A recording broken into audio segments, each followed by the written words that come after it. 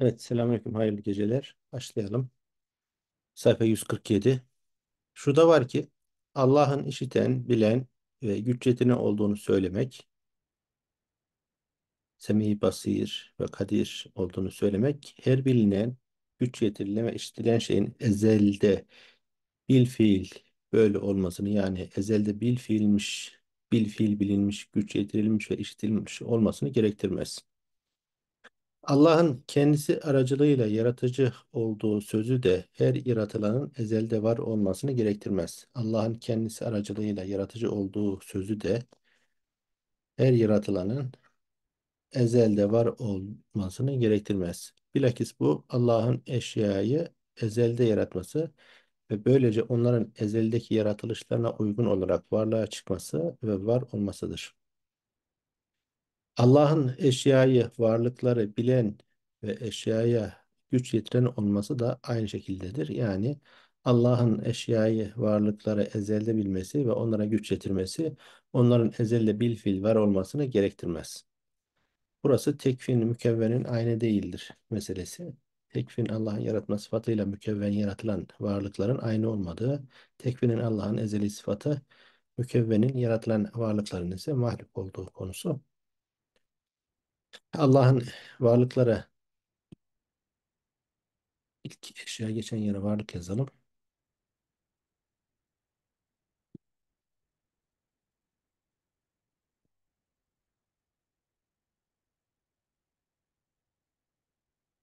Allah'ın eşyayı ezeli olarak bilmesi ve onlara güç yetirmesi onların ezeli ezelde bil fiil var olmasını gerektirmez. Allah'ın eşyayı ezeli bilmesi ve onlara güç yetirmesi onların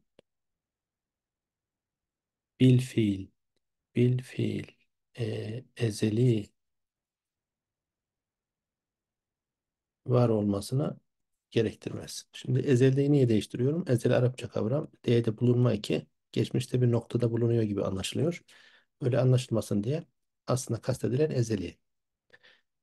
Allah'ın eşyayı ezeli olarak bilmiş olması, onlara ezeli olarak güç getirmesi, onların bil fiil ezeli olarak alemin de var olmasına gerektirmez. Nasıl ki Allah'ın bilen, işiten ve görendir. Alim, semi ve basir demekle Allah'ın bilici, işitici ve görücüdür. El alim, es semi, el basir demek aynı şey ise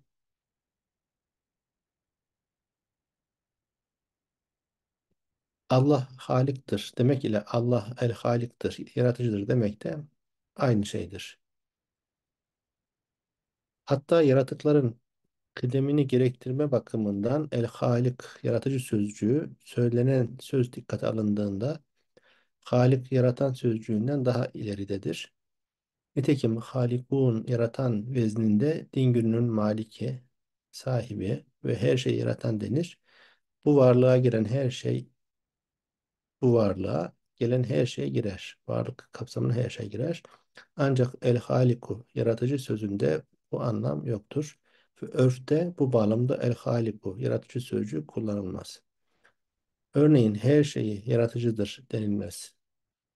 Her şeyin yaratıcısıdır da diyemeyiz. Çünkü el-halik el-lam tarifle marif olduğu için muzaf olmaz. Her şeyin yaratıcısıdır da diyemeyiz. Şimdi Ebu Mansur Allah ona rahmet eylesin şöyle demiştir. Buraya kadar okuduğumuz tekvin mükevvenle ilgili konudan sonra kendi kanaatini toparlıyor burada. Asıl olan şu ki bu bir toparlama cümlesi olarak kullanıyor sık sık. Asıl olan şu. Allah'ı bilmenin yegane yolu alemin ona delaletinden geçer.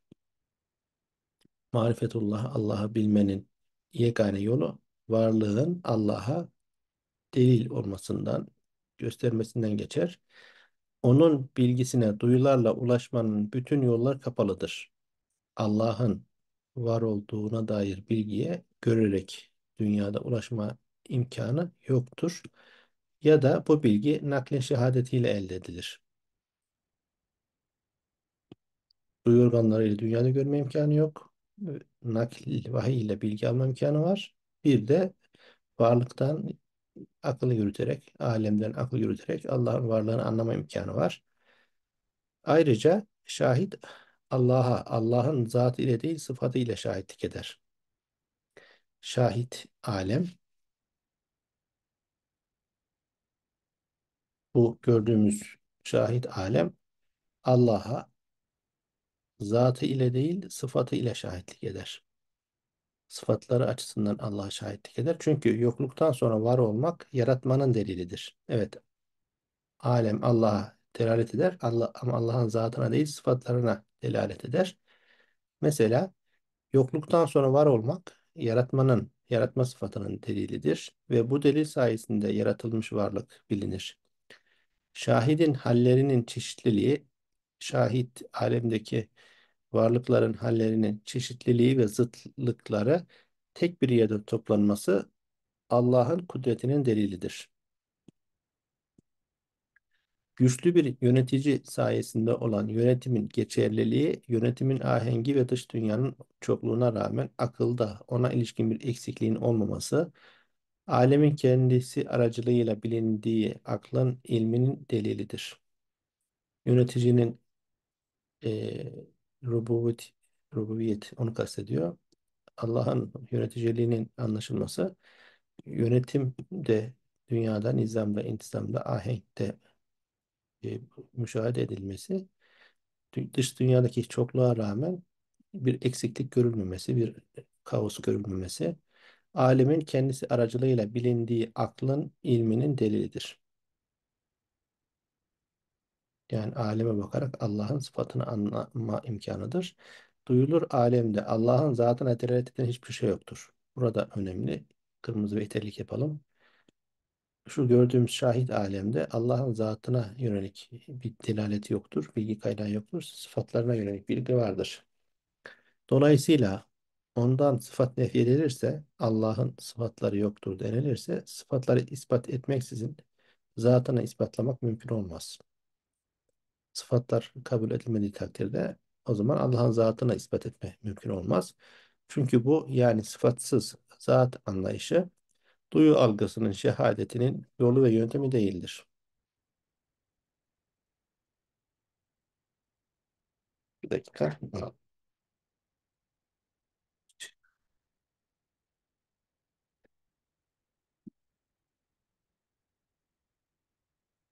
Ondan sıfat nefy edilirse e, sıfatları ispat etmeksizin zatı ispatlamak mümkün olmaz. Çünkü bu yani sıfatsız zat anlayışı duyu algısının şehadetinin yolu ve yöntemi değildir. Duyu algısıyla biz varlıkları sıfatlarıyla birlikte görürüz. Sıfatları kaldırıp sadece zat görme gibi bir usul yoktur. Benzer şekilde doğrulukları delillerle sabit olmuş kimselerin yani peygamberlerin şahitliği de ilim, kudret ve benzeri e, temelinde bilen, işitme, gören bir Allah tasavvuru getirmiştir. Bu isimlerin ise sıfat isimleri olduğu bilinmektedir. Evet, burayı özetledi. Özetleri ne dedi? Allah'a bilmenin yolu alemden geçer. Alemdeki şeyleri müşahede ederek sıfatları anlarız. Allah'ın zatına yönelik alemde bir işareti yoktur dedi. Ayrıca e, doğrulukları ispatlanmış peygamberlerin şahitliği de Al- Allah'ın ilim, kudret ve benzeri sıfatlarının olduğunu bize aktarır. Bu şekilde sıfatlı, sıfat sahibi bir Allah anlayışımız gerçekleşir. E, bu isimlerin ise sıfat isimleri olduğu bilinmektedir. Yani Allah için kullandığımız alim, kadir gibi isimlerin sıfatları da desteklediği bilinir. Diğer taraftan Allah'ın mekanla, çıkmakla, girmekle, bitişiklikle, ayrılıklıkla ve ayrılık, ayrılıkla ve benzeri maddeye has olan niteliklerle e, sıfatlanması imkansızdır. Bu hallerin zıtları söylenen hallerin geçerliliği ispat ve kabul edilmeden nefyedilir. Allah'a bir mekan nispet etmek, çıkmak, girmek, hareket etmek, yer kaplamak gibi fiziksel e, varlıklara has şeyler Allah'a nispet edilmesi imkansızdır. Bu hallerin zıtları söylenen hallerin geçerliliği ispat ve kabul edilmeden nefyedilir. Aynı hüküm birleşme, ayrılma, hareket etme, hareketsiz kalma hakkında da geçerlidir. Tüm bunlar yaratılmışlara ait, maddeye ait özelliklerdir. Birleşme, ayrılma, hareket, hareketsizlik gibi. Dolayısıyla Mutezile'nin söylediği mümkün değildir. Yani nasıl ki Allah çıkmakla nitelenmez demek, girmekle nitelenir anlamına gelmezse Allah iştendir demek Allah sağır değildir anlamına gelmez. Evet burada temel fark Allah iştendir, semidir, basirdir, kadirdir diye kullandığımız anda bu manaları sıfat olarak kabul ediyor ehl-i sünnet. Yani Allah kadirdir, kadirdir dediğimiz anda Allah'ın kudret sıfatı vardır. E, Mu'tezile tarafı da Allah kadirdir denildiği zaman Allah aciz değildir diye anlam veriyor. Zıt tersinden anlam veriyor. Bu da Maturidi doğrudan anlam verilmesi gerektiğini söylüyor. Allah kadirdir dersek yani Allah'ın kudret sıfatı vardır demek anlamına gelir. Ebu Mansur Allah ona rahmet eylesin şöyle demiştir. Alemin hadisliği sabit olduğundan alemdeki değişiklik anlaşıldığı için bu değişikliğin alemi e, sonradan yaratıldığını ortaya koyduğundan ve alemin yokluktan sonra var olması, öncekilerin sonrakiler sayesinde var olması ve rastlantı eseri olması imkansız olduğundan alemin kendisine ilişkin ezeli ilimden, bilgiden hasıl olduğu bilinir. Alem sonradan yaratıldığından, yokluktan sonra varlığa çıktığından, rastlantı eseri olmadığından tüm bunlar alemdeki durum incelenerek anlaşıldıktan sonra alemin kendisine ilişkin ezeli ilimden hasıl olduğu bilinir. Alemin Allah'ın ilmi sayesinde ortaya çıktığı bilinir. Sonra bu bilgi elde edilen duyunun olup da duyulurun olmaması ve kıyasın olup da kıyasa dayalı bilginin olmaması mümkün değildir. Dolayısıyla Allah'ın zatıyla bilen olduğu sabit olmuştur. Yani varlık mükemmel nizam ve intizam içinde varsa, bilgiyi gerektiren şekilde bir kuruluş varsa, bunu bilgi sahibi bir zatın yaptığı artık sabit olmuş olur. Bilenin zatıyla bilen olduğu bağlamda, bilenin, bilinenin gaybetinde ve hazretinde, uzağında ve yakınında olması eşittir. Ebu Mansur Allah ona rahmet eylesin şöyle demiştir. Bu konuda asıl olan şudur. Burayı da siyah ve kırmızı yapalım. Özet olarak bu konuda asıl olan şudur. Allah duyu ile bilinemez. Beş duyuyla görerek Allah'ı anlayamayız. Duyu ile bilinen şeyde yani alemde Allah'ın onu yani alemi bildiğinin delili vardır. Biz duyu organlarıyla Allah'ı bilemeyiz. Ama duyu organlarımızda gözlem yaptığımız şu evrende, alemde Allah'ın alemi bildiğinin intizam, nizam, bilgili şekilde yarattığının delili vardır. Çünkü Allah onu yani alemi kendisine delalet edecek düzende, tertipte yaratmıştır. Sonra Allah'ın aleme ilişkin bilgisi Allah'tan başkası değildir. Çünkü Allah onu yaratıncaya kadar bir başkası yoktur. Sonra o yaratılan ona delil olmuştur. Yaratılan varlık Allah'a delil olmuştur. Böylece onun o yaratılan şeyden önce alim olduğu sabit olmuştur. İşte hiç yaratan bilmez mi? Ayetin açıklaması. Yani yaratmışsa yaratan biliyordur. İbn Şebib kendi kendine bazı şeylere dair ancak zorluk çıkarma merakı olarak görülebilecek sorular sormuştur. Şimdi Maturidi'nin Muhammed bin Şebib'in kitabından e, analizler yaptığı anlaşılıyor. Bazı görüşlerini kabul ediyor, bazı görüşlerini düzeltiyor, tasih ediyor, bazılarını itiraz ediyor. Orada da konuya dikkat çekmiş. İbn Şebib kendine soru sorup cevap verme tarzında üslubuyla kendine zorluk çıkarma yoluna girmiş. Aslında zorluk çıkarma maksatlı soru sormanın hakkı sufistle ilgili olarak açıkladığımız üzere onu bu davranıştan alıkoyacak şekilde tedip etmektir. Delillerle istidlalde bulunmak değildir. Yani bir kişi amacı e, zorluk çıkartmaksa, kötü niyetliyse, kötü niyetli kişiye akli e, anlatımlarda bulunmanın bir anlamı yok. Niyeti kötü olduğundan zaten anlamaya niyeti yok. Onlara yapılacak şey onları azarlamaktır. Yani niyetlerinin kötü olduğunu onlara hissettirmektir. Nitekim Allah ile ilgili olarak şöyle sormuştur. Allah her şeye kadir değil midir? Cevap olarak evet. Allah her şeye kadirdir demiştir. Sonra şöyle demiştir. O zaman dünyayı bir yumurtanın içine sokabilir mi? İşte soru bu. Ya buradaki sorunun amacı. Allah her şeye kadir mi? Evet kadir. O zaman Allah dünyayı bir yumurtanın içine sokabilir mi? Cevap olarak şöyle demiştir. Bu soru çelişki içerir. Çünkü yumurtayı dünyadan büyük kılmayı gerektirir. Oysa Allah dünyayı yumurtadan geniş kılmıştır. Zira yumurta dünyanın bir parçasıdır. Şimdi bu soru ve cevap Muhammed bin Şebib'in cevabı. Maturidi'ninki daha farklı. Fakih Ebu Mansur şöyle demiştir. Bizim bu soruya cevabımız şöyledir. Kişi bu soruyla yumurtayı alemin bir cüzü olarak olarak tutmayı kastetmişse bu imkansızdır. Yumurtayı mevcut haliyle yumurta olarak düşünüp alemden bir parça olarak düşünüyorsa alemden bir parça iken alemin onun içine girmesi imkansızdır.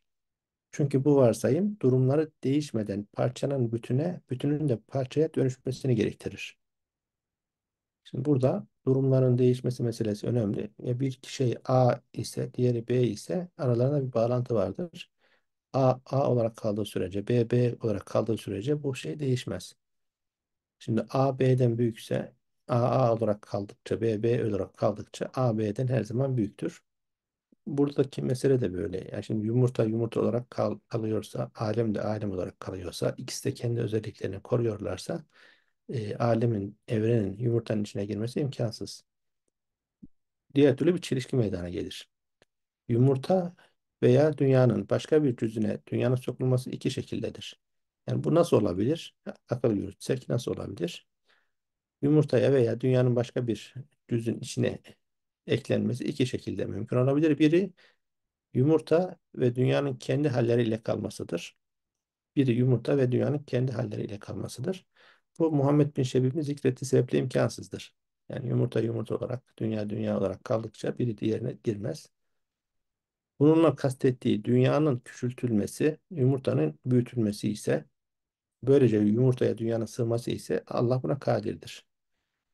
Dolayısıyla Allah her şeye kadir. Yumurtayı dünyanın içine, dünyayı yumurtanın içine sığdırabilir mi? Yumurta yumurta olarak kaldığı müddetçe, dünya dünya olarak kaldığı müddetçe böyle bir soru sormak imkansız. Ama büyütmeyi, küçültmeyi kastediyorsanız Allah dünyayı küçültebilir, yumurtayı büyütebilir. Bu soruya Maturidi biraz kendini zorlamış diyor. Yani buradaki soru soran kişinin amacı e, gerçekten Allah'ın kadir olup olmadığını anlamak değil. Allah her şeye kadir diye biliyorsa zaten bunun mümkün olduğunu bilmesi gerekir. Burada biraz e, niyeti kötü, zorlamak için e, kötü niyetle bu soruyu soruyor. Fakih şöyle demiştir. Kitap sahibi İbn Şebib e, Mutezile mezhebini benimsemiştir. Bu mezhebin anlayışına göre Allah sivrisineğin ve daha büyük cevherlerin fiilini yaratmaya kadir değildir. Çünkü ona göre bu fiillerin yaratıcısı sivrisineğin ve diğer faillerin kendisidir. Mutezile'nin insan fiilinin e, halikıdır anlayışı kapsamında Allah sivrisineğin ve daha büyük cevherlerin mesela insanın fiillerini yaratmaya kadir değildir. Çünkü ona göre bu fiillerin yaratıcısı sivrisineğin ve mesela insan, insan ise kendisidir. Bütün bunların fiilleri kudret içinde yer alır. Güç yetirilebilir veya bu fiillerde kudret Allah'tan başkasına aittir. Böylece Mutezile aklen mümkün olan şeylerin çok çoğu çoğuyla ilgili olarak Allah'ın her şey kadir olduğunu kabul etmeye yanaşmamıştır. Bu Maturidi'nin e, nitelendirmesi Mutezile insan fiillerinin harikadır şeklindeki görüşüyle bunu demiş olur diye yorumluyor. Yani Allah her şeye kadir olduğunu kabul etmeye yanaşmamışlardır. Dolayısıyla bunlar gibilerine aklen imkansız olan şeyleri delil getirmek, karşı çıkmak anlamsızdır. Sonra İbn Şebib kendi kendine şöyle sorar. Allah kendisinin bir benzerini yaratabilir mi? Şöyle cevap vermiştir. Bu imkansızdır. Çünkü bu varsayım bir yaratılmışın varlığını kabul etmeyi gerektirir. Yaratılmış ise sonradan var edilmiştir. Kendisi ise kadimdir. Dolayısıyla yaratılmış olan onun gibi olmaz. Bu soruyu kudret hakkında da sorar. Yani Allah kendisinin kudreti gibi bir kudret, kendisi gibi kadir birini yaratabilir mi? Birinci soruya gibi bu da imkansızdır. Yine şöyle söyler. Allah'ın kendisinin veya kudretinin benzerini yaratması varsayımı bir maddi yaratılmışın varlığını kabul etmeyi gerektirir. Maddi yaratılmış şey ise ya onun yaratmasının izleri içeren bir cisimdir ya da kendi başına var olmayan arazdır ve kendisi hadis olduğuna delalet eder. Oysa Allah ikisinden hiçbirine benzemez. İbn-i Şebib şöyle demiştir. Ayrıca her sonradan var olan şey yok olabilir. Ne var ki Allah tarafından kendisinin benzeri olarak yaratıldığı farz olunan şey yok olmaktan yücedir. Çünkü yok olması imkansız bir şey. Yani Allah gibi bir Allah olmaktadır. Ayrıca Allah hakkında vakit imkansız iken, zaman içinde yer alması imkansız iken bu farz olunan benzeri hakkında yaratılmış, sonradan ortaya çıktığı için mümkündür. Şimdi bu İbn-i Sebim'in kendi kendine sorduğu soru. Allah kendine benzer bir Allah yaratabilir mi? Şey, Allah ona rahmet eylesin şöyle demiştir. İbn-i Şebib'in sözleri üzerinde dikkatle düşünen kimse soru soran sorusunda aklen mümkün olan şeylerle ilgili konuşma alışkanlıklarından saptığını görür. Burası önemli. İbn-i Şebib'in sorusu cevabı üzerine düşünen kimse bir, yanlışlığı fark eder. Yanlışlık nerede? Soru soran sorusunda aklen mümkün olan şeylerle ilgili konuşma alışkanlıklarından sapmaktadır. Çünkü o şöyle sormuştur. Allah kendisinin benzerini yaratabilir mi? Onun benzeri olan cisim, araz, hadis ve yok olabilen olmaz. Çünkü benzer de bu özelliklerden biri olursa onun benzeri olmaz. Yani A A olarak kaldıkça, B B olarak kaldıkça biri diğer, diğerine dahil olmaz demiştik. Konuşan kişi nitelikleri değiştirerek, kelimelerin içini boşaltarak, değiştirerek, anlamı değiştirerek soru sorduğu için e, yaptığında hata vardır diyor. Yani Allah Allah'sa onun bir benzeri olmaz. Benzeri olan şey Allah olmaz. Çünkü benzer de bu özelliklerden biri olursa onun benzeri olmaz. Soru sahibine ise böyle bir benzeri varsayarak sormuştur. Sanki Allah kendi benzeri diyerek benzerin olabileceğini düşünerek varsaymıştır. O varsayılan benzere ilişkin cisim, araz, hadis, yok olabilir, olmama gibi nitelikler o benzerin varlığına nefyeden niteliklerdir. Yani Allah'ın hiçbir şekilde eşi benzeri olmaz. Bunun benzerliği varsaymak kendi içinde çelişkidir. Aslında daha önce Mutezile'ye bundan daha açığını söylemiştik. Ancak onlara başka bir eleştiri yöneltilebilir. Onlara göre Allah'ın yalan, sefihlik ve zulme kudreti vardır. Halbuki bu özelliklerden biri Allah'ta olacak olsa rububiyeti geçersiz olur. Sonra Allah'ın bunları işlemesi mümkün değildir. Bu yüzden İbn Şebib şöyle desin. Allah böylesi şeyleri yaratabilir ama bunu yapmaz. Çünkü sonradan var olan kadim yapmak, yok olabileni yok olmaz yapmak ve üzerinde yaratma etkisi olanı bu etkiden uzak kılmak ancak kadimi hadis, kalıcı geçici, hikmetli, sefih yapmak şaşırtıcı olduğu takdirde şaşırtıcı olabilir. İkinci gruptaki şeyleri fiilen yapmak imkansız olmakla beraber güç yetirilebilir ise Mutezile'nin öğretisine göre birinci gruptaki şeyler de aynı hükme tabidir. Bizim öğretimiz ışığında Allah'ın dengini yaratmasının imkansızlığını temellendirmek ve açıklamak kolaydır. Yani hiçbir şekilde Allah için benzer, nit kullanılamaz. Bizim açımızdan bunu açıklamak kolaydır. Şöyle ki Yüce Allah'ın kudret altına girmesi ve güç getirilebilir olması imkansızdır. Allah kadirdir. Hiçbir şekilde başka birinin boyunduruğu altına girmesi mümkün olmaz. Dolayısıyla başkasının kudreti altına girdiğini ve böylece o başkasının kudreti sayesinde Allah'ın dengi olduğunu söylemek Allah'tan denkliği uzaklaştırmaktır. Çünkü Allah'ın kudret altına girmesi imkansızdır. Diğeri de kudret sayesinde bu imkansızlıkta ona katılır. İstersen şöyle de diyebilirsin. Allah dengini yaratabilir mi? Yani böyle de soru sorabilirsin. Soru çelişkilidir. Çünkü Allah'ın dengini yaratabilir mi demiştir. E Allah Allah olarak düşünüldüğü zaman ona hiçbir şekilde denk düşünülememesi gerekir. Düşünüyorsa Allah'a tam anlamıyla Allah olarak bilmiyor anlamına gelir. Soru çelişkilidir. Demek ki bu usulde Maturidi ilk önce soru e, art niyetli mi değil mi ona bakıyor. Sonra soru çelişkili mi değil mi diye ona bakıyor. Soru hakikaten cevap verilmeye değerse cevap veriyor. Buradaki mesele soru çelişkilidir. Oysa onun dengi yaratılmış, yaratılan olamaz. Allah yaratılmış olmadığından dengenin yaratılmışlığı denkliği ortadan kaldırmaktır. Dolayısıyla o bu sözüyle yani sanki demiş olur.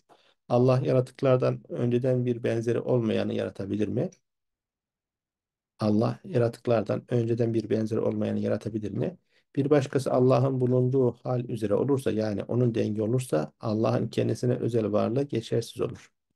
Allah gibi haşa bir- biri denk düşünülürse o zaman Allah'ın tekliği ortadan kalkar. Böylece o başkası eşyanın kendisi sayesinde var olduğu varlık olur. E, hiçbir benzeri olmayan, tek olan yüce yaratıcı kimse biz ona işte yüce yaratıcı Allah diyoruz. Onun dışında benzer olan şeye yüce yaratıcı Allah ismi verilmez.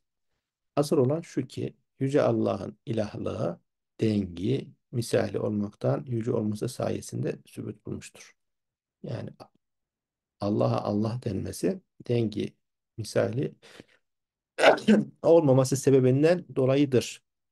Allah dengi ve misali olmadığı için biz ona yüce yaratan ilah diyoruz. Dolayısıyla ilahlığını geçersiz kılacak benzerinin olması imkansızdır.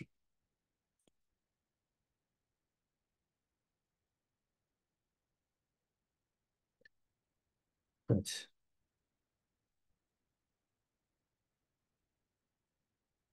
İbn Şebib'in konuştuğu yön itibariyle Allah dengini yaratabilir mi ifadesi çelişkilidir. Zira ifade dengin yaratılmasından bahsetmekte ve onu yaratılmış varsaymaktadır. Oysa bir yaratıcı tarafından yaratılmış bir şeyin kendisinin varlık sebebi olan yaratılmışlığın ortadan kaldırılması şartıyla var olması mümkün değildir. Çünkü bu takdirde varlığı ortadan kalkar. Ayrıca Mutezile'ye göre Allah önce yaratıcı değil iken sonradan yaratıcı olmuştur. Böylece İbn Şebib bu yönden Allah'ı sayesinde yaratıcı olduğu kudret altına sokmuştur. O halde başta yaratıcı olmayıp da Allah'ın kendisini bu şekilde yaratması sayesinde yaratıcı olan bir varlığı niçin mümkün görmüyor? Nitekim Allah da bir başkasını yaratmak suretiyle yaratıcı olmuştur. Yani onların kanaatine göre. Sonra İbn Şebib'e Allah hakkında şöyle bir soru yöneltilebilir. Allah eşyayı, varlıkları yaratmadan önce eşyayı yaratma kudretine sahip miydi? Allah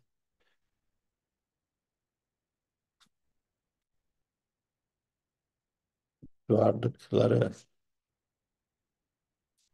yaratmadan önce varlıkları yaratma kudretine sahip miydi? İbn Şebib bu soruya evet sahipti cevabını verir. Onun delili acizin engellenmiş olmasıdır. Aciz engellenmiş yani yapamayan anlamındadır. Allah yarattığına göre kudreti var. Yani öncesinde kadir olmasaydı sonra da kadir olamazdı ve hiçbir şekilde yaratık evren ortaya çıkmazdı. Dolayısıyla sonradan yaratılmışlığın varlığı Allah'ın onu daha önce de yaratma kudretine sahip olduğunu gösterir. Allah buna sonradan meydana gelen bir kudret de değil, zatıyla kadir ise dünyayı ve sayılamayacak kadar çok benzerlerinin yaratma kudretiyle mevsuftur. Yani Allah kudret tekvin sıfatıyla mevsuftur. Bunları sonradan elde etmiş değildir. Fakih Ebu Mansur şöyle demiştir. İbn Şebib'e şöyle söylenir. Allah dışarıdan gelen bir kudretle değil zatıyla kadirse nasıl şöyle bir iddiada bulunuyorsunuz? Yani Allah'ın kudretinin hadis değil zat, zati olduğunu, kudretinin zati olduğunu kabul ediyorsanız o zaman nasıl şöyle bir iddiada bulunuyorsunuz? Allah kulların bütün hareket ve durağanlıklarını yaratmaya kadirdir ama bu kudreti kulların o fiiller üzerinde kadir kıldığında sona erer. Allah kullarını kudret sahibi yapmaya kadirdir ama kullarına bu kudreti verdiği zaman kendi kudreti sona erer. Ancak Allah kullarından bu kuvveti geri alabilir. Bunu nasıl söyleyebiliyorsunuz? Bu da kudretin hem zatla hem de dışarıdan ilişenlerle yani hem zati hem arizi olarak nitelenmesidir. Bu niteliğe sahip birine kendisinden fiilin ortaya çıkmadığı bir kuvvet nispet etmek imkansızdır. Yine kudreti kaybolabilecek olanın zatıyla kadir olduğunu söylemek onların öğretisine göre de imkansızdır. Mutezile'nin sözlerini zikretmekle amaçladığım, buraya kadar Mutezile'nin görüşleri aktarıldı. Mutezile'nin görüşlerini e, aktarmaktaki amaç aslında onları zikretmeme ihtiyacım olmamakla beraber aklını kullanan ve düşünen bir kimsenin Mutezile'nin öğretisine göre tevhidi ispatlamanın ve mülhitlerin bertaraf edilmesinin imkansız olduğunu ve tevhid konusundaki doğru görüşün kendilerinden başkalarının yani ehli sünnetin görüşü olduğunu bilmesini sağlamaktır. Mutezile görüşünü aktarmam, değerlendirmekteki amacım Mutezile'nin öğretisine göre tevhidi ispatlamanın, mülhitlerin görüşlerini susturmanın, bertaraf etmenin imkansız olduğunu ve tevhid konusundaki doğru görüşün Mutezile'nin karşısındaki yani ehl sünnetin görüşü olduğunu ispat etmektir. Sonra İbn Şebib şöyle bir iddiada bulunmuştur. Her kadir olanın kudreti fiilinden öncedir. Her kudret sahibi olanın kudreti fiilinden öncedir. Kudreti olduğu için daha sonra fiili yapar. Dolayısıyla öncesinde kadirse kudreti vardır. Bu başkası sayesinde kadir olan ve fiilde bulunan dolayısıyla bir halden diğer bir hale dönüşen ve zatı değişip yok olabilen birinin niteliğidir. Her kadir olanın kudreti fiilinden öncedir. Dolayısıyla bu başkası sayesinde kadir olan ve fiilde bulunan dolayısıyla bir halden diğer bir hale dönüşen ve zatı değişip yok olabilen bir niteliğidir. Oysa Yüce Allah zat ile eşyaya güç getirir ve yapar. Dolayısıyla onun bu konudaki söyledikleri yanlıştır. Önceki sayfalarda bundan daha etkili şekilde ortaya koyduk bu konuyu. Bu da onun zatını bilen yapma, yani zattan ayrı bir sıfat anlayışını kabul etmeme emaresi taşır. Bunun yani sıfatları zata indirgemenin ve zatla özleştirmenin yanlışlığını daha önce de ortaya koymuştuk. Maturidi'ye göre Allah'ın sübutu sıfat dediğimiz ilim, kudret gibi diğer sıfatlar vardır. E, Mutezile'ye göre bunlar zatla özdeştir. Allah'ın e, kadir, kayyum gibi isimler vardır ama tek tek ilim, kudret diye ayrı sıfatları yoktur. Tartışma da burada dönüyor. Maturidi bunların zatla özdeş olmadığını, subudi sıfatların varlığını savunuyor. Sonra İbn Şebibe Allah'ın eşyayı yaratma sebebine dair soru sorulmuştur. Allah'a varlıkları yaratma sebebine dair soru sorulmuştur. Çünkü varlıkları yaratmasının Allah'a faydası yoktur ve Allah bunu boş yere ve gayesi olarak da yapmamıştır. Allah varlıkları niye yarattı diye sorulmuştur. İbn Şebib bu soruya cevaben şu iddiada bulunmuştur. Allah varlıkları ebedi mükafata bir giriş ve tanıtım olarak yaratmıştır. Bu da bir hikmettir, amaçlılıktır. Dolayısıyla Allah'ın fiili yaratıklarına ulaşacak bir fayda içindir. Yoksa yaratıklarından önce olan bir gerekçeli değildir. Dolayısıyla Allah'ın fiili kullardan südür eden bina yapmaya ve çeşitli şeyler üretmeye benzer. Bu İbn Şebib'in cevabı. Allah evreni, varlıkları niye yarattı? Ebedi mükafata giriş ve tanıtım için yarattı. Ebu Mansur şöyle demiştir. Biz bu söze verilmesi gereken cevabı açıklamıştık. Daha önce bu soru geçmişti. Şöyle ki Allah varlıklara yaratma gerekçesine dair soru sorulamaz. Yani Allah varlıkları niye yarattı, niçin yarattı diye bu soru Allah için sorulamaz. Çünkü birilerinin Allah üzerinde yetki ve hükümranlığının olması ya da onun fiilinin hikmet dışına çıkması imkansızdır. Dolayısıyla onun fiili hakkında soru soramayız. Bu da Maturidi'nin cevabı.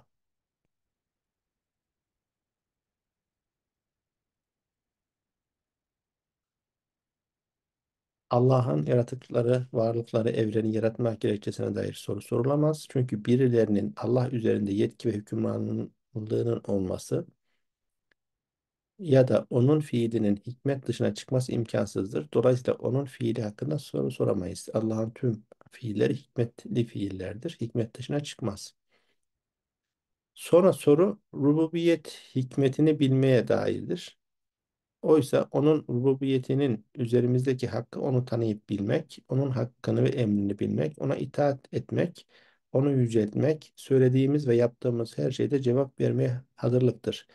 Burada da soruyu farklı bir yöne çeviriyor Maturidi. Yani Allah'ın evreni niye yarattı sorusundan ziyade bizim Allah'a karşı görevlerimiz nelerdir sorusu ön plana çıkmalıdır. Onun rububiyetinin varlığa çıkartıp alemi yaratmasının bizim üzerimizdeki bize verdiği sorumluluk onu tanıyıp bilmek, onun hakkını, emrini bilmek, ona itaat etmek, onu yüceltmek, söylediğimiz ve yaptığımız her şeyde cevap vermeye hazırlanmaktır. Cevap vermek derken ahirete hazırlanmaktır. Yaptığımız her şeyde. Bu da ilginç. Allah evreni niye yarattı? Tamam buna bir şekilde cevap verilebilir ama asıl cevap verilmesi gereken soru Allah'ın bu yaratmasına karşılık bizim üzerimize düşen nedir? Onu tanıyıp bilmek, onun hakkını emrini bilmek, ona itaat etmek, onu yüceltmek, söylediğimiz, yaptığımız her şeyde hesabını vermeye hazır olmaktır.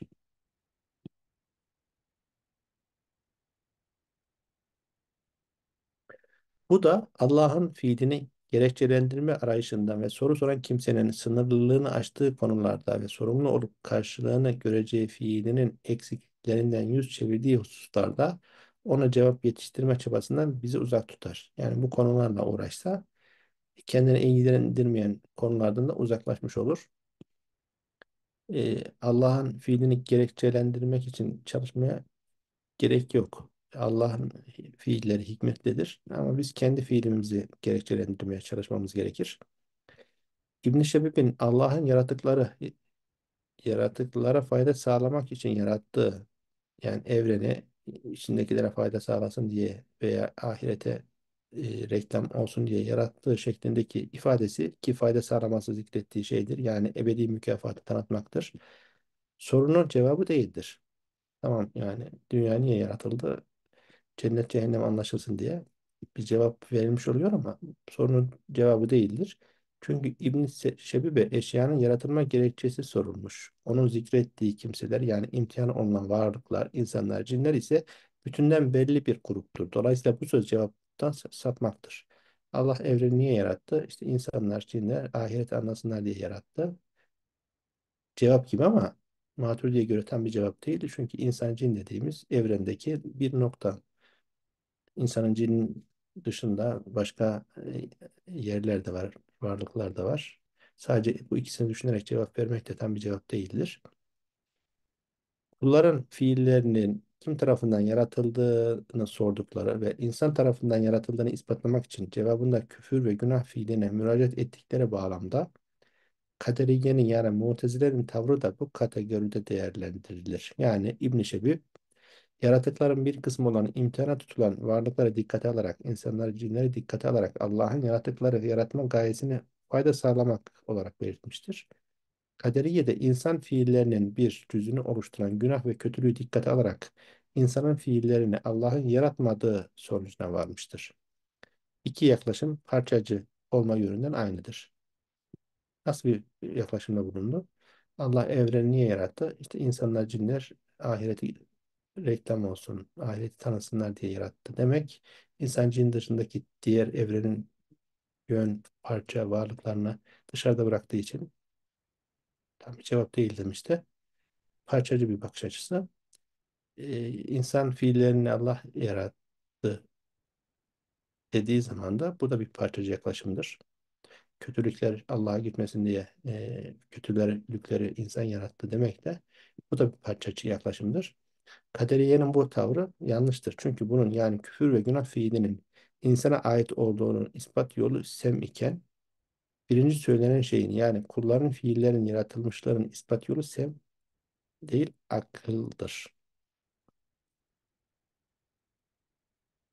Yani küfür ve günah fiillerin insana ait olduğu, insanın kendi elleriyle yaptığı ayette geçerken birinci söylenen şeyin yani kulların fiillerinin yaratılmışlığının ispatı aklidir. Bize göre asıl olan şudur. Şimdi bu okuduğumuz kısımdaki meseleyle ilgili asıl sonuç. Maturidi diyor ki bize göre bu konudaki sonuç şudur. Allah Teala'nın yarattığı bütün yaratıklar üzerinde nimetlerinin eseri ve onlara gösterdiği cömertliğin delilleri açıktır. Allah'ın yarattığı tüm varlıklar üzerinde nimetlerinin eseri ve onlara gösterdiği cömertliğin delilleri apaçıktır. Allah'ın hikmeti ve birliğinin delaleti yaratıklarda mevcuttur.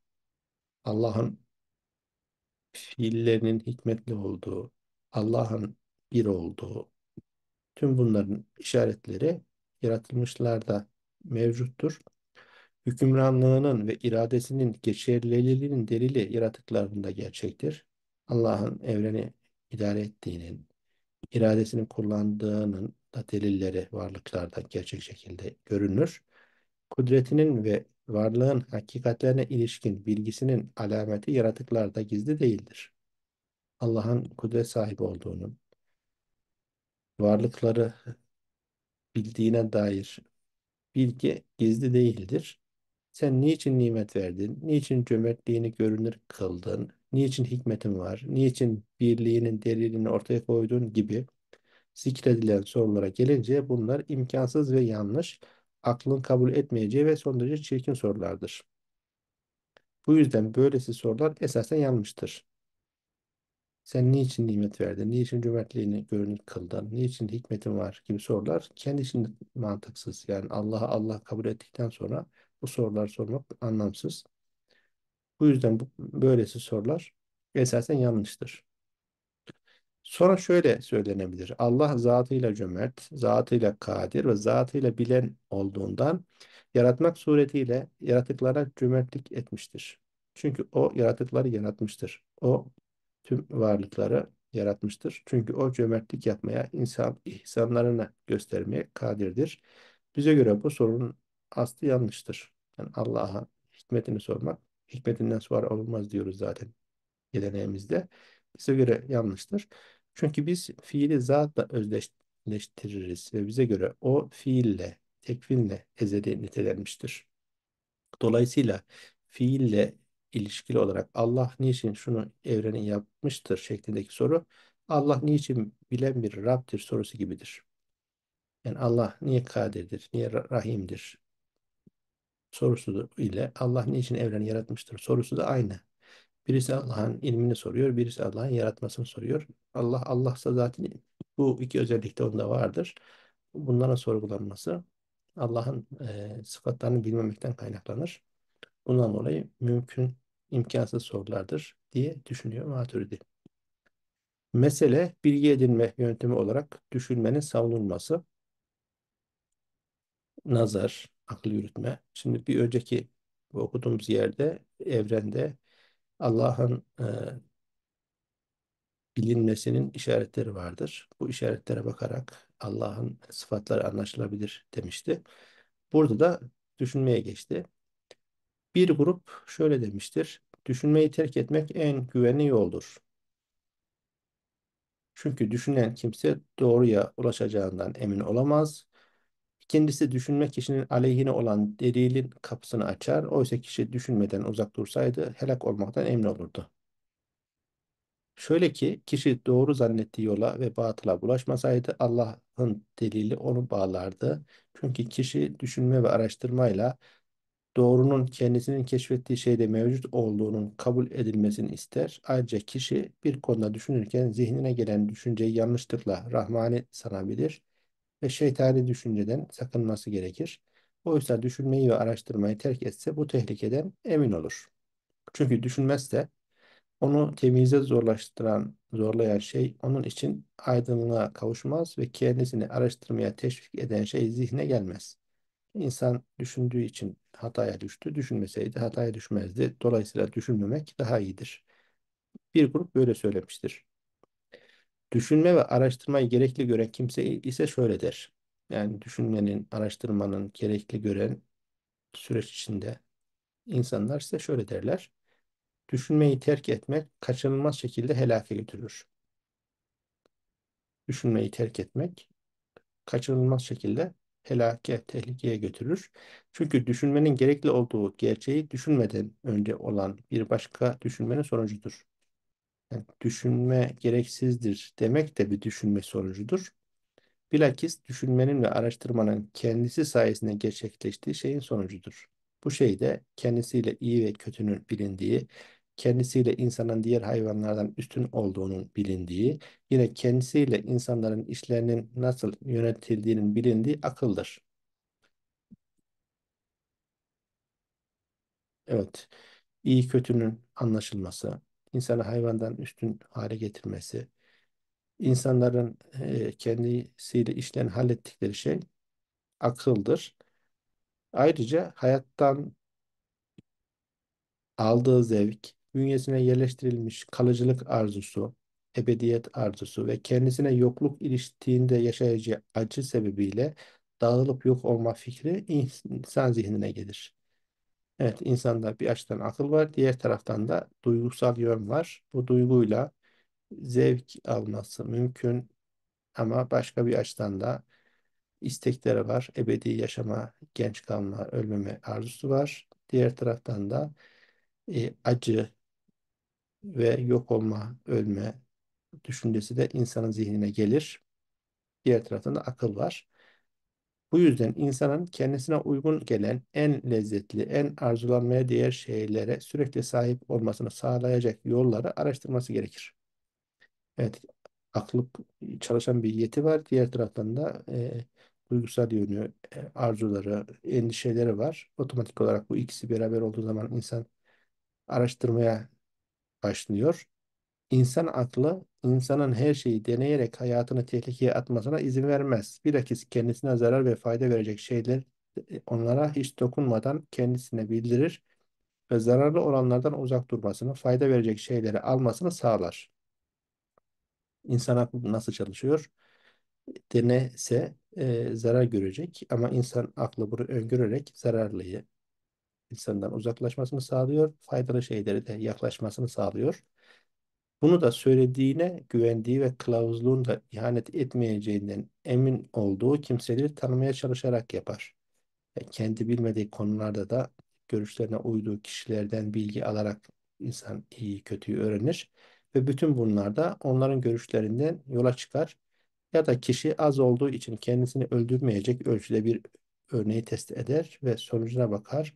Kendisi bir hükme varmaya çalışır. Mesela zehirli mantarları düşünelim.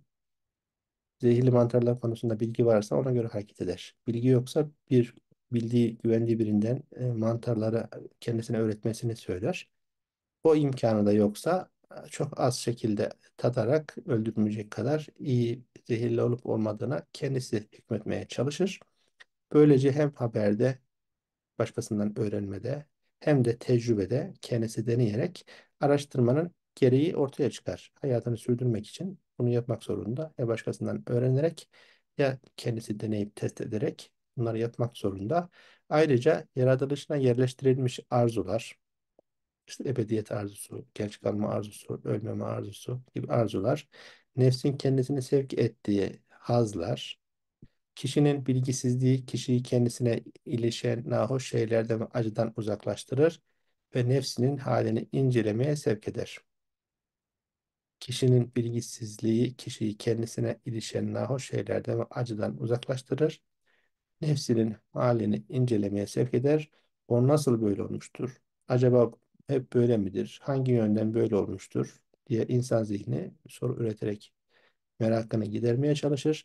İnsan e, nefsinin halleri üzerinde sürekli kafa yormasını sağlayan bazı düşüncelerden kurtulamaz. Neticede insan ne yaparsa yapsın e, aklından atamadığı düşüncelerden kurtulamaz.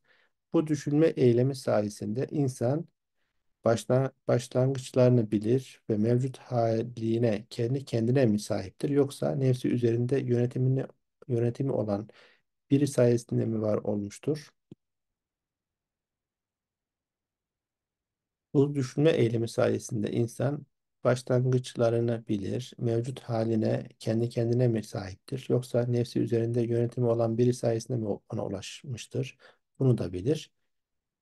Ayrıca insan yapısını düzelten ve bozan şeyleri, üzerinde nimetleri ve kendisinden korunduğu şeyleri de bilmesi gerekir. Bütün bunlarda ise düşünme zorunludur, delil gereklidir. Buraya kadar Maturidi aktardı. Yani düşünmek kötüdür. Düşünen e, başını beladan kurtaramaz. En iyisi düşünmemektir diyen insanlara karşı insanın e, bir akıl yetisi var. Bu yeti kullanmak durumunda. Diğer taraftan da zevkler, arzular, endişeler var. Bunları da karşılaması gerekiyor. Hayatını idame ettirmek için de iyi, kötüyü bilmesi, öğrenmesi, kötülüklerden uzak durması gibi durumlar var. Tüm bunlar neticesinde aklında uçuşan sorular var. Sorulardan kurtulmak için cevabını bulmak zorunda. Bütün bunlar ise düşünmeyle yapmak zorundadır. Dolayısıyla düşünme gereklidir. İnsan kendisine düşünmeyi terk etmeyi güzel gösteren şeyin şeytanın vesvesesi olduğunu kesin şekilde bilir. İnsan vicdani sesini dinlediği zaman düşünme kötüdür, düşünmeyi bırak diye kendisine içeriden gelen sesin aslında şeytanın vesvesesi olduğunu vicdanen bilir. Çünkü bu vesvesenin işlevi insana aklının meyvesinden alıkoymak ve fırsat yakalamasını, amaca ulaşmasını sağlayan ilahi emaneti rahatsız etmektir. Burası çok ilginç. İlahi emanet. İnsanda bir ilahi emanet var. Vesvese geldiği zaman düşünme, araştırma diye bu vesvese işlevi insana aklının meyvesinden alıkoymak, aklın meyvesi doğruyu bulmak, aklın meyvesinden uzak tutmak ve fırsat yakalamasını ve amaca ulaşmasını sağlayan ilahi emaneti rahatsız etmektir. Düşünmediği zaman ilahi emaneti işlevsiz kılar. Bunun delili ise aklı kullanmanın eşya üzerinde düşünmek ve böylece gizli kalmış başlangıç ve sonları bilmekle gerçekleşmesidir. Akıl kullanıldığı zaman düşünme yetisi e, varlık üzerinde düşünülerek varlık nasıl ortaya çıktı, varlık nereye gidiyor sorularına e, akıl cevap bulmaya çalışır. Nasıl oluştu, sonu nedir, nereden geldik, nereye gidiyoruz gibi başlangıç ve sona dair konuları bilmek ister. Sonra akıl insanı eşyanın hadis olduğunu, varlıkların geçici olduğunu ve eşyanın varlıkların muhtisi olduğunu bilgisine ulaştırdığında insanın nefsin arzularından uzak tutar. Evet, bir yaratanın varlığının bilgisine ulaştığı zaman artık insan nefsin arzularından uzak durmaya başlar. Böylece insan düşünmeyi terk etme fikrinin şeytan işi olduğunu bilir. Düşündüğü zaman e, varlıkların üzerinde düşünür. Düşündüğü zaman başlangıç son hakkında düşünür. Varlıkları yaratanın bir yaratıcı olduğunu düşünür. Sonra o yaratıcıyı anladıktan sonra e, nefsin her isteğinin peşinden gitmenin kötü olduğunu anlar.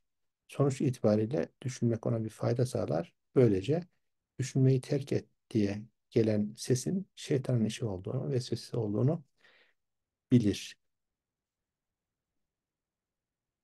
Aklın meyvesi düşünmektir. Neticesinde ilahi emanete ulaşmış olur insan. Demek ki düşünmeyi terk ettiği zaman aklın meyvesi düşünmeyi terk ettiği zaman Allah'ın birliğine, sıfatlarına, onun istediği şeylere de ulaşamamış oluyor.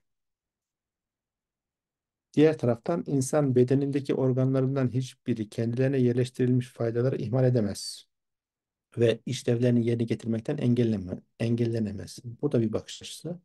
İnsanda bedene yerleştirilmiş organlar var. Her organın bir görevi var. Organ bulunduğu halde o görev işlemesin denilmez. Göz görür, işte kulak sesleri alır. Ben bunu işlevsiz hale getireyim diye kimse düşünmez. İşlevlerini yerine getirmekten de engellemez. Bilakis organlar zararlı yönlerden engellenmeli, faydalı yönlerde kullanılmalıdır. Evet, organlar tamamen iptal edilemez. Zararlılardan uzaklaştırılıp faydalı şeylerde kullanılmalıdır. Dolayısıyla faydalı ve zararlı şeyleri bilmemizi sağlayan akıl ve düşünme ihmal edilmemeye daha layıktır. Düşünen kimse aklına bir şey geldiğinde şu üç durumdan birine tabidir. Yani düşündük, evet düşünmeye başladık. Üç durumla karşılaşır. Ya kişinin düşünmesi kendisinin hadis olduğunu ve yaptığı iyiliğe karşılık ödüllendiren ve işlediği kötülük sebebiyle cezalandıran bir muhtisi olduğunu bilmeye götürür. Dolayısıyla kişi muhtisini, yaratıcısını öfkelendiren şeylerden kaçınmalı, onu razı edecek şeylere yönelmeli Böylece mutluluğa ulaşmalı, iki dünya şerefine ermelidir. Yani düşündüğü zaman birinci ihtimal bu. Benim bir yaratıcım var. Onu razı edecek işleri yapmalıyım. Kötü şeylerden uzaklaşmalıyım diye düşünür. Neticede iki dünya saadetine erişmiş olur. Ya da kişinin düşünmesi onu bu anlattığımız şeyleri reddetmeye götürür. Böyle çeşitli lezzetlerden yararlanır. Cezalandırılmaya gelince onu ahirete bırakır. Yani kişi düşünmesi onu Tanrı yoktur bir sonuca götürdüğünü düşünelim. E, Tanrı yoktur diye düşündüğü zaman emir yasak da olmayacağı için o kişi dünyada her türlü lezzetten yararlanır. Ceza ise ahirete kalmış olur. Ama neticesinde dünyada her türlü lezzet almış olur. Ya da düşünmek kişiyi çağrıldığı şeyin hakikatini bilmenin zor olduğunu bilmeye götürür. Böylece kişi kendisini rahatsız eden düşünceler sebebiyle varlığına il- ilişen korkulardan kurtulur ve kalbi rahata kavuşur. Da kişi düşündüğü zaman çağrıldığı şeyin hakikatini bilmenin zor olduğunu anlar. Ben bunu bilemem der, ümidini keser. Böylece kişi kendisini rahatsız eden düşüncelerden, akla gelen sorulardan kurtulur ve kalbi rahata kavuşur. Sonuç olarak kişi insaflı olursa düşünmesinde her halükarda karlı olduğunu bilir. Yani kişi aklını kullandı, mümin oldu, günahlardan uzak durdu, iyilik yaptı, dünyada ahirette mutluluğa erişir. Kişi aklını kullandı, ateist oldu. O zaman dünyadaki her türlü lezzetten istifade eder. Dünyada cennet yaşar ama ahiretini kaybeder. Ya da düşünür ama ben e, tam bu işi yapamıyorum, aklım ermiyor diye düşünür. Bu şekilde de sorulardan kurtulur. Gene e, dünyada mutluluğa ermiş olur. Her halükarda aklını kullanan karlı çıkar. Şöyle denilirse, kulun aklına göre Allah kula anlamadığı şeyi emredebiliyorsa ona niçin anlamadığı şeye hitap etmesin? Kulun aklına göre Allah kula anlamadığı şeyi emredebiliyorsa ona niçin anlamadığı şeyle hitap edeme, edesin, hitap edemesin? Kulun aklına göre Allah kula anlamadığı şeyi emredebiliyorsa ona niçin anlamadığı şeyle hitap edemesin? Şöyle cevap verilir.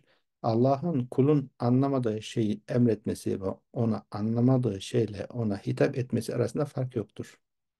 Ancak mutlak şekilde Allah'ın insana anlamadığı şeyi emretmesi ve anlamadığı şeyle insana hitap etmesi caiz değildir. Burası ilke. Allah'ın insana anlamadığı şeyi emretmesi veya anlamadığı şeyle insana hitap etmesi caiz değildir.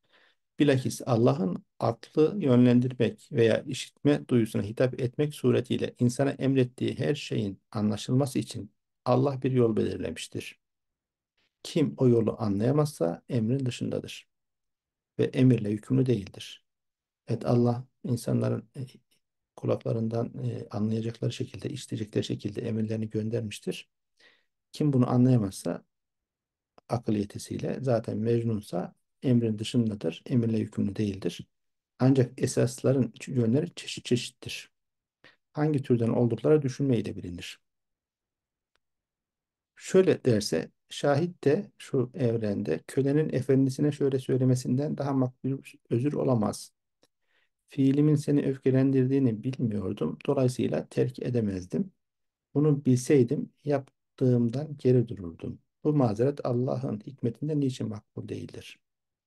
Yani bir köle efendisine derse ki yaptığım davranışın seni öfkelendirdiğini bilmiyordum. Dolayısıyla onu terk edemezdim. Bunu bilseydim yapmazdım. Bu mazeret kölenin mazereti efendisini memnun ederken bu mazeret Allah'ın hikmetinde niçin kabul görmez? Şöyle denir. Bu mazeret biz insanlar arasında güzeldir, geçerlidir. Yani bilmiyordum, bilseydim yapmazdım. Çünkü kendisi sayesinde emrin bilindiği delil yoktur. Yani bilmiyordum, bilseydim yapmazdım dediğin zaman bilmiyordum. Yani bir, hakikaten bilmiyordum anlamına gelir. Bil- bilinecek bir delil yoktur. Makul anlaşılır. Oysa Yüce Allah kulu için emrettiği şeyin emredildiğine dair bir delil kılmış ve onun zihnini akla gelen düşüncelerle havadır harekete geçirmiş ve çeşitli ibretler uyandırmıştır. Allah'ın emrettiği şeylerde bilmiyorum deme imkanı yoktur. Çünkü Allah bilinmesi için delil de kullanmıştır. emrettiği şeyin anlaşılması için bir delil de kullanmıştır. Peygamber gibi, ilahi kitap gibi, akıl gibi. Onun zihnini akla gelen düşüncelerle harekete geçirmiş ve çeşitli ibretler kılmıştır. İnsan aklına da düşünmeye yönlendiren vicdani sesler, harekete geçirir şeyler de olur. Bilmesini sağlar. Bu yani Allah'ın emrini anlamama onun düşünmeyi terk etmesi yönünden gerçekleşir. Düşünmezse delilleri anlamaz. Düşünmeyi terk etmek ise insanın kendi fiilidir. Ama düşünürse, akıl yürütürse varlıktan Allah'ın var olduğunu anlar, peygamberi anlar veya kitabı okursa ondan anlamış olur. Aklını kullanmayı terk ederse bu terk insanın fiilidir. Dolayısıyla kul özür beyan ederken haksız duruma düşer. Bilmiyordum, bilseydim yapmazdım diyemez. E, kötü olan şeyi aklıyla da bilebilir. Peygamberle de bilebilir. ilahi kitaplarla da bilebilir. Dolayısıyla kul özür beyan ederken haksız duruma düşer. Yani özür kabahatinden büyüktür. Çünkü kendi fiiliyle Allah'ın emrini anlamaktan yüz çevirmiştir. Düşünseydi, aklına yürütseydi anlayacaktı. Fakih Ebu Mansur şöyle demiştir. Bu meselede asıl olan şudur. Bununla konuyu bitirelim. Asıl olan şudur. Kalıbı geldi yine. Toparlıyor anlattıklarını. Allah'ı ve emrini bilmek ancak istediler ile elde edilebilecek bir ihsandır. Allah'ı, yüce yaratıcıyı bilmek, onun emrini bilmek, akıl yürütmeyle elde edilebilecek bir ihsandır. Allah herkese akıl yetisini vermiştir. Mecnun değilse onu kullandığı zaman bunu anlama kabiliyeti vardır. Allah da insana hayatın temelini oluşturan haller cümlesinden istidlalde bulunacağı şeyler vermiştir. Allah insana akıl yürütmek için kullanacağı malzemeler de vermiştir. Ayrıca açıkladığımız üzere zorunluluk insana kafa yormaya, bildiğinde salahına, bilmediğinde helakına sebep olan kendi muhtelif halleri, organları, faydaları ve zararlar üzerine düşünmeye sevk eder. Akıl var, insanın durumu da bunları düşünmeye insana sevk eder. Varlığının kendisine borçlu olduğu Allah'ı bilmeye kendisini mecbur eden, zikrettiğim halleri yöneten yönetenin kendisi olmadığına ilişkin bilgi de onun salahına ve faydasınadır. Açıkladığımız üzere zorunluluk insanın kafa yormaya, bildiğinde salahına, bilmediğinde helakına sebep olan kendi muhtelif halleri, organları, faydaları ve zararları üzerinde düşünmeye sevk eder. Varlığını kendisine borçlu olduğu Allah'ı bilmeye kendisini mecbur eden zikrettiğim halleri yönetenin kendisi olmadığına ilişkin bilgi de onun salahına ve faydasınadır. Evet, kendi yaratıklarda veya kendi hayat seyrimizde düşündüğümüz zaman e, Allah'ın varlığına götürecek çok hallerle karşılaşırız. Hayatımızda bunların karşılaşmamız için bunları bize veren de yine Allah'tır diyerek bitirdi. Burada bırakalım. Haftaya kaldığımız yerden devam ederiz. Hayırlı geceler.